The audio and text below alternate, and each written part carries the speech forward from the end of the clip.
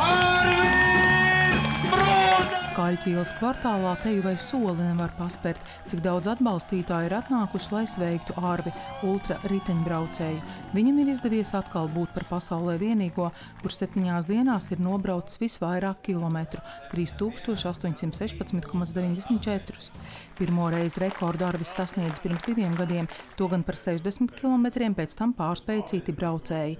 No ārvja uzliktā latiņa citiem censoņiem ir par teju 200 km vairāk, tomēr šoreiz viņa brauciena mērķis bija labdarība.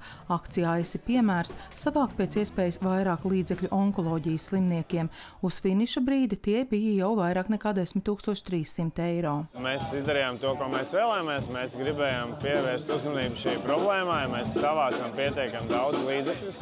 Mēs mainījām daļai šo domāšanas veidu, un cilvēki nāca ārā un atbalstīja un nekautrējās. Mēs esam viens otram piemēri. Mēs tā katru dienu progresējām. No sākuma mēs gājām tikai māt. Pidžamās ar lietasargiem, izlijuši slapji. Tad jau mums nāca palīgā šīs zīmītes, tad mums nāca palīgā kaimiņi. Ja finiša mirkli un ārvi uz ceļa redzēja daudzi, tad smagākos un lūzuma brīžus tikai viņa komanda un paši tuvākie cilvēki.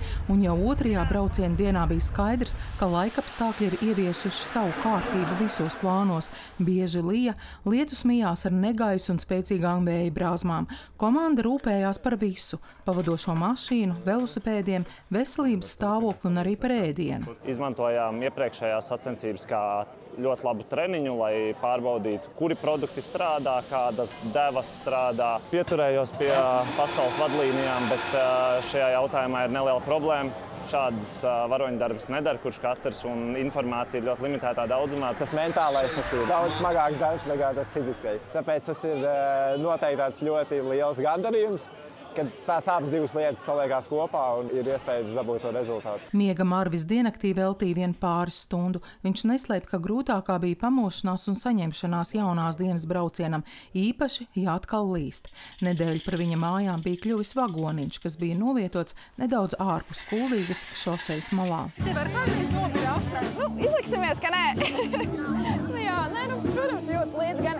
Es pat teiktu, ka brīžiem saskrien asariņi gan no satraukuma, brīžiem atkal no tā prieka, no tā arī, kas tur šoseis malā ar cilvēkos notiek. Ārvijas sniegums vēl oficiāli jāapstiprina Gīnes rekordu komisijai, kurai tiks iesniegti dažādi braucienu apliecinoši dati.